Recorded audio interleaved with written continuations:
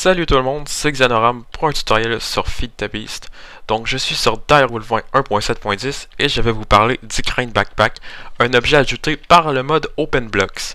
C'est quoi le Crane Backpack? C'est un sac à dos grue littéralement.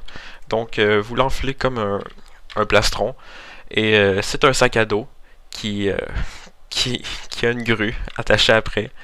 Vous le contrôlez avec une manette et vous pouvez déplacer des blocs avec les mains ou encore des coffres, des mobs ou n'importe quelle entité.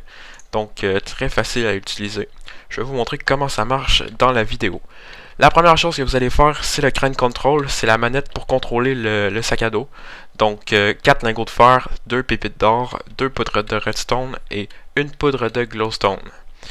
Ensuite, on va faire le sac à dos. Pour le faire, ça prend 4 items qui sont unique à ce craft que vous pouvez pas prendre ailleurs. C'est euh, des systèmes qui sont juste utiles dans ce craft-là. On a pour commencer la crane magnète qui est l'aimant attaché au bout de ma grue, trois lingots de fer, une poudre de redstone et deux colorants, un jaune et un noir. Ici, on a la crane engine, c'est le moteur qui va faire euh, rouler ou dérouler la corde. Donc, 7 euh, lingots de fer, un bâton et une poudre de redstone on a euh, les lines, donc euh, des cordes, pour euh, prendre l'aimant. Donc 6 fils et 3 boules de slim, ça fait 2 cordes par recette. Donc vous allez en avoir besoin de 3 dans la recette. Vous devez faire la recette deux fois, ce qui va vous laisser une corde à la fin pour faire je ne sais quoi avec. Aussi des beams, ça nous en fait 2 par recette. On en a besoin de 2 dans la recette, donc pour faire le sac à dos, c'est parfait. 6 lingots de fer et deux colorants, un jaune et un noir. Maintenant, je vais vous montrer comment réparer votre sac à dos parce qu'il y a une durabilité, effectivement, il y a 240 de durabilité, c'est l'équivalent d'un plastron en fer. Donc, euh, comment on répare notre sac à dos?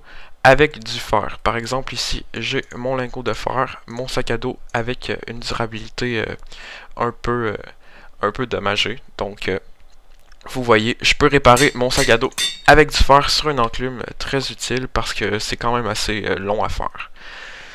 Aussi, on peut contrôler notre sac à dos avec la télécommande. On peut pas le contrôler avec la main vide, c'est seulement avec la télécommande qu'on peut le faire. Comment ça marche? Comment je fais pour déplacer un bloc? C'est simple. Shift, clic droit pour abaisser la grue. Clic gauche pour prendre l'objet, le mob ou quoi que ce soit d'autre clic droit pour remonter. Vous pouvez voir, je peux redescendre aussi. Mais moi, je veux le poser ici, mon bloc de verre. Donc, je le mets au niveau à peu près. Et je fais un autre clic gauche. Comme ça, je peux déplacer des blocs aisément avec ma manette.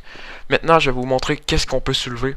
Par exemple, ici, j'ai euh, un enclos de moutons mauve avec euh, un mouton vert qui s'est égaré. Donc, euh, je vais le prendre avec mon aimant. Comme ça, je positionne au-dessus. Voilà. Et ensuite, je vais le déposer dans son enclos. Voilà. Oh, ça bug un peu, c'est parce que je suis au niveau de la bedrock. Maintenant, on peut même prendre des squids. Donc, euh, vous voyez, euh, toujours aussi facile. Voilà, je l'ai eu. Et voilà, un squid tout frais, prêt à être transformé en sushi. On peut prendre des objets aussi. Ça semble un peu bizarre, mais on peut le faire. Je vois pas à quoi ça servirait. Mais euh, pourquoi pas? Tiens, je vais prendre une émeraude. Voilà. Oh, elle est ici. Je vais faire attention de ne pas la prendre. Parce que je peux toujours la prendre même si elle est sur la grue. Et je vais la donner au villageois, comme ça, qui est très heureux. On peut prendre des entités diverses. Ici, j'ai euh, un minecart que je peux bouger. Je peux même le dérailler.